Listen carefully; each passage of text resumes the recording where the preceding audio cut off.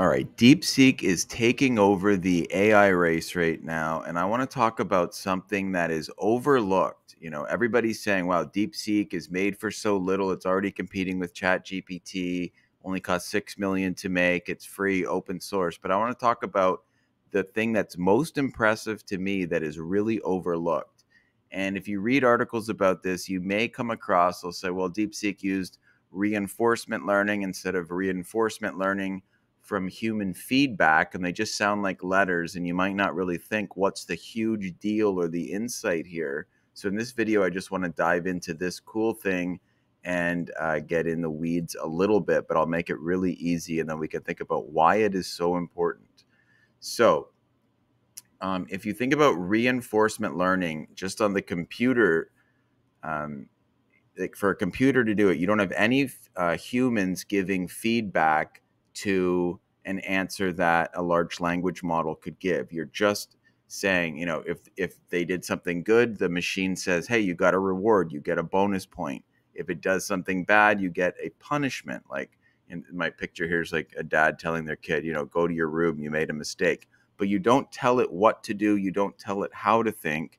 You just say, if randomly the answer was good, you get a point. If randomly the answer was bad, you lose a point and through this mechanism, incredible results can happen. So, um, just quickly, so Google DeepMind, if you've ever played chess, and I play quite a bit, it doesn't matter if you know the rules or anything. The point is, humans, even the best ones, are not perfect at it. And a really good machine, the best machines, can beat any human, and there's no way humans can catch up. But the cool thing is, and this is the really neat uh, thing that Google did, is they only told the computer the rules of the game. So they would say basically, if somehow you randomly make like no strategy, there's no thinking, just here are the rules. This is how you move the pieces. And then they played it, the game played against itself millions and billions of times in a row. And if you randomly, if it randomly made a good move, and the way they calculated a good move is if it ended up winning the game, in the very end, there's like millions and billions of different options for you know chess moves. If somehow they won the game, it would say, "Hey, that must have been a good move." If you lost the game, it was a bad move. But they had to do it like probably trillions, maybe even more than that. So many games. So it's just it's almost like training someone to write a book by just randomly type like a monkey randomly typing letters. And if the story is good, you get a point and if it's not good you don't and somehow you end up with the best novels ever written. Now wouldn't work with novels at this point and we'll talk about why later but that's what they did with chess and it was such an incredible breakthrough. And then deepseek goes ahead and does this with math and coding something that large language models um, were typically very bad at and this breakthrough could get even to be even a bigger deal. So if I just go back, this is kind of my image of uh, reinforcement through human feedback. Imagining hiring, imagine hiring millions of people to sit on their computers, read uh, answers that come back from a large language model, and they say, "Hey, this looks good. This looks bad. This looks good. This one looks good. Oh, this one's really bad." And they judge it and then feed their response into that, and that's how the machine improves. But if you don't have these people, you have to use these uh, a computer model to say you know, is something good or something bad. But they thought, you know, that could maybe work with chess. That was a big insight, but it's not going to work with certain problems. So imagine a simple math problem like this. Um, now, this is going to be really easy to do, but imagine training it with just the reinforcement learning from the computer. So um, Tom has five apples. His friend Jane gives him three more. How many apples does Tom have, have now? Obviously, eight. Not a big deal. Five plus three. But imagine you don't tell the large language model how to do it, and it starts to give you random uh, answers. One of them is uh, five minus three, and it says two. And then, then the machine would say, Nope, we already know the answer to this is eight. So you lose a point. That's like a go to your room scenario. Uh, if it says five times three, 15, how's that? Nope.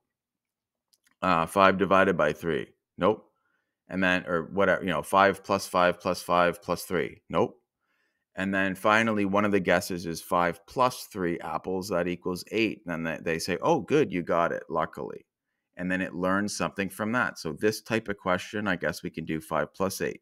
The next one, Tom has five apples. His friend Jane took away three of the apples. How many does he have now? So that would obviously be five minus three or two. But the computer might think, okay, well, I learned how to do this. So I got five plus three again. So eight. And you'd say, no.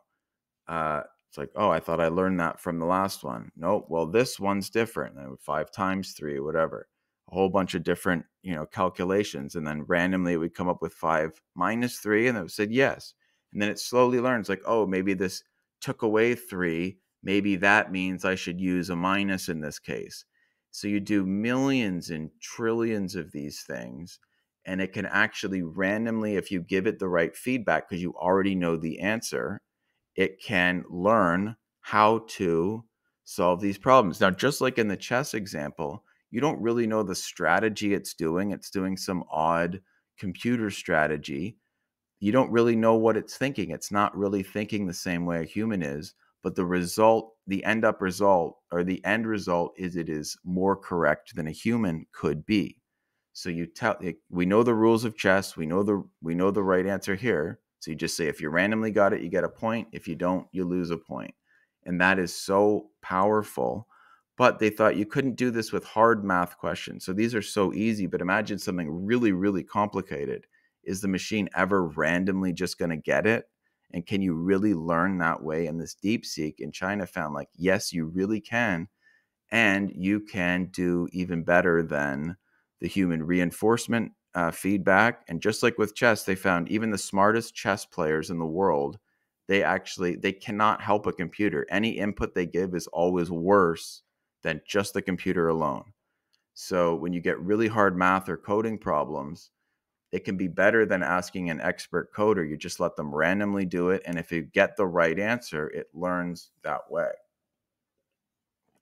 And the sky is the limit. You know, they've just done this with $6 million. You can imagine giving it more coding problems, more examples, more time to practice, and it should get even better. Um, so and that that's what I just answered here. Like, what if the math or coding problem is very difficult? Now, um, I don't see anything stopping it at this point. Like, we're doing very, very difficult coding and math problems already.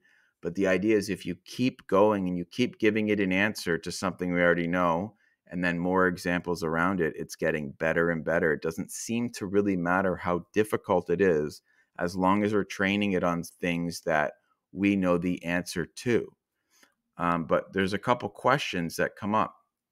One is how do you judge something subjective, like a good novel, or who who is more beautiful? Like if you showed two people and you say who's more attractive, well, how would you give a point? Um, because that's sort of in the there's no way to say this is definitely more beautiful, right? It, it would take humans, even though that's subjective too. It's hard to write in the rules to do that. So how do you know when to give a point?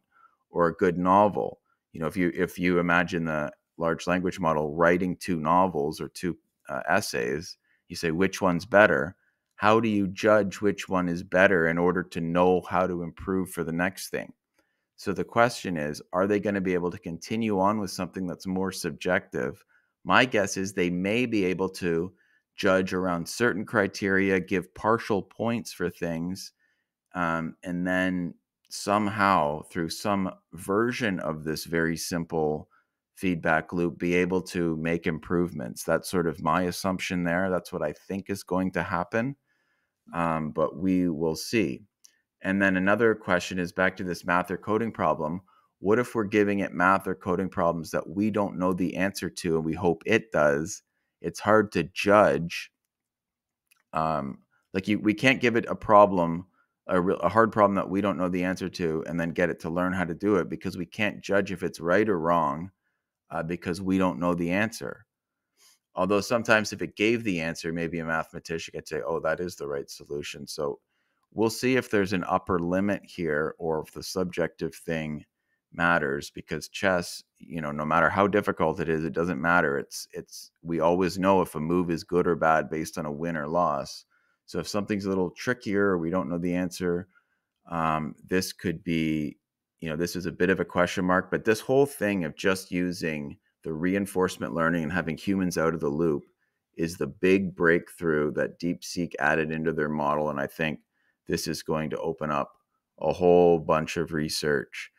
Um, and it's really disrupted the market. Like even uh, Nvidia stock right now is down 16% as I'm making this video today, and it's been on a huge rise. So, you know, who knows if we're going to need all these chips? Probably will somehow, but you know, there's a lot of uncertainty out there and a lot of room to really improve with this new way of doing things. Even though it's kind of an old way that Google figured out for a different set of problems, it's new in terms of the large language models. So a massive breakthrough there. We're using uh, this all the time. Now, if I could just talk about something that we're doing with our AI software, Cartario.com. You can sign up for a free account and check it out. This is a photo of me, AI generated. This is one of our influencers.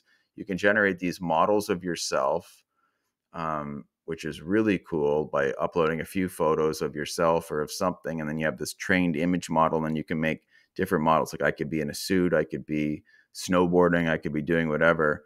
Some people have been using it to make photos of their dogs. Like we have this one review. This is somebody's dog. You know, we gave it um, uh, like a bunch of dog photos, and then we said, "Hey, put it in a ski jacket and have it going skiing." So this actually looks like their dog. I mean, you can see the review here. They absolutely love it. And this is an AI dog photo of their dog in action, just based on you know some uploaded camera photos from their phone and then they can make the dog doing whatever they want people love it. So you can use this for business as well uh, products or making a shopify app soon. So check out cartario.com uh, links in the description and sign up for our um, our mailing list where you can stay on top of all this cool ai stuff. Excuse me. And our ai growth hacking course because we're always looking how to uh, use AI to actually earn money online instead of just you know randomly talking about it, how to leverage it and use it in a way to earn a living more than most people are doing. So check out those things. Hope you enjoyed the video.